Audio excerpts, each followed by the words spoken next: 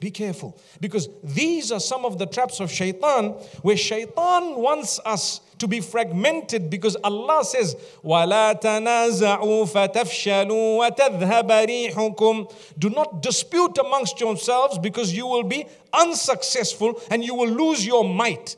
تذهب ريحكم Your rih, rih is referring to the might, the power. Your might will be gone because you're disputing, fighting with one another. The Quran says that. So what's the solution? Immediately after that, Allah says, وَاصْبِرُوا إِنَّ اللَّهَ مَعَ الصَّابِرِينَ Be patient. Allah is with those who bear patience.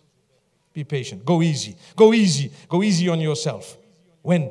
When you've done something wrong and you repent to Allah, be convinced He's forgiven you. Shaitan's trap is he tries to say, No, he didn't forgive you. And you start thinking, What I did was so evil, I don't think Allah's going to forgive me. All those thoughts are the devil's plot.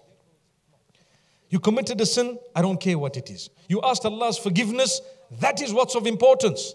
When you ask Allah's forgiveness, be convinced in your heart, Allah's forgiven me. Let me move on. Allahu Akbar.